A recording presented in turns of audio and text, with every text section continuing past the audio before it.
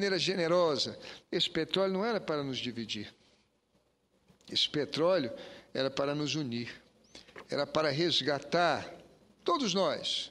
Não há diferença entre uma criança pobre do Piauí e uma criança pobre do Rio ou de São Paulo. Todos são brasileiros e devemos, todos nós, respeito a eles.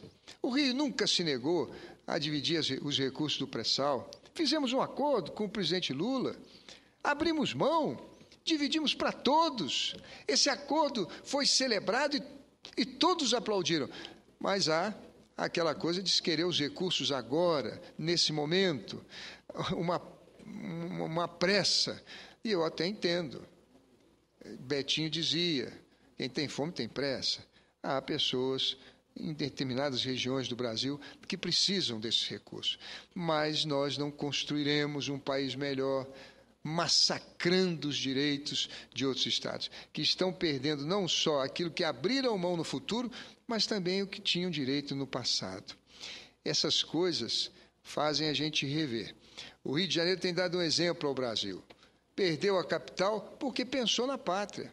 O Rio de Janeiro, enquanto tantos estados se dividiram, embora sendo pequeno, se div... ele se uniu, ele fez uma fusão. O Rio de Janeiro mandou, senhores telespectadores, senhores ouvintes da Rádio Senado, no ano passado, em 2010, 110 bilhões de reais para os cofres da União.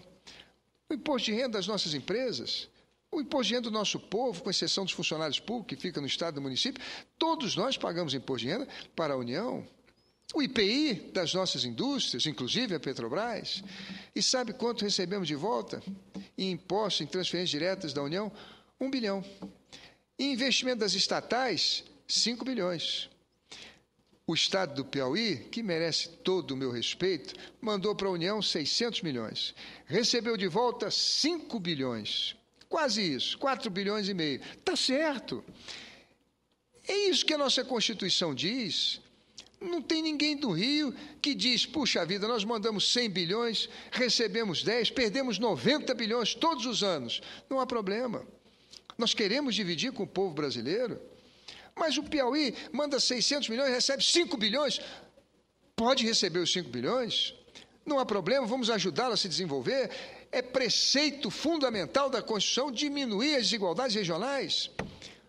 Temos feito isso por décadas embora tenhamos favelas, muita violência no Rio, tráfico, mas pensamos o Brasil.